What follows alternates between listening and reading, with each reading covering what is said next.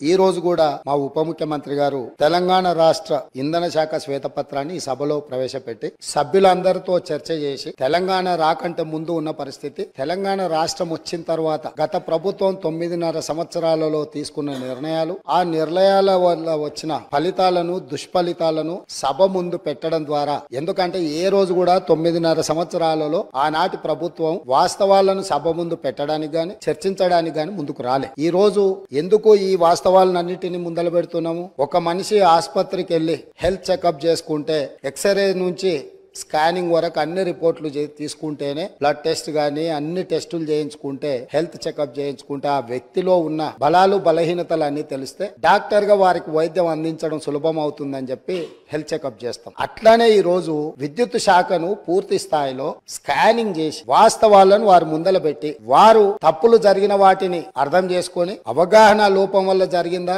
ఉద్దేశపూర్వకంగా జరిగిందా ఇవన్నీ ఒక చర్చలో బయటకు వస్తాయి కాకపోతే వాస్తవాలను ఒప్పుకొని హుందాగా పది సంవత్సరాలు పరిపాలన చేసిన అనుభవం ఉంది మాకని పదే పదే చెప్తున్నారు. ఆ అనుభవాన్ని ఇప్పుడైనా తెలంగాణ రాష్ట్రంలో విద్యుత్ సరఫరాలో విద్యుత్ ఉత్పత్తిలో సామర్థ్యాన్ని పెంచుకోవడానికి వారు ఉపయోగించుంటే బాగుండేది. నేను సూటిగా మూడు అంశాలను ప్రస్తావించదలుచుకున్నా. మాజీ మంత్రి జగదీశ్వర్ రెడ్డి గారు ప్రభుత్వానికే సవాల్ విసిరిండ్రు. మీరు విచారణకు ఆదేశించండి మేము సిద్ధంగా ఉన్నామని. నేను వారిని మనస్ఫూర్తిగా స్వాగతిస్తున్నా.